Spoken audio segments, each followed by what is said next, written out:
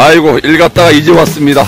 이제 아직 뭐 와가지고 그래도 아직 뭐 여기에 저 동해에서 오신 분 울정의 투망사분 여기 한분. 이렇게 좀 몇 마리씩 잡아놨네 그래도. 개가 이렇게 맥히고 있어요. 아 이거 아까워라. 진짜 아까운 물만 싹 나간 것 같아.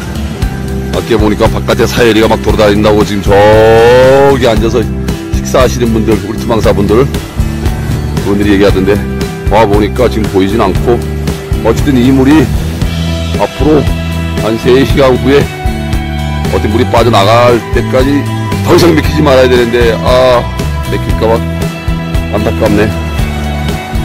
자 얼른 투방사분들이 싹 가셨어요. 아, 제가 영상을 저랬는데 아 그나마 또 어제 비까지 막 쏟아지면서 전 난리가 나가지고 아 이거 힘들게 먼 거리 하고 오신 분들한테 죄송스럽습니다.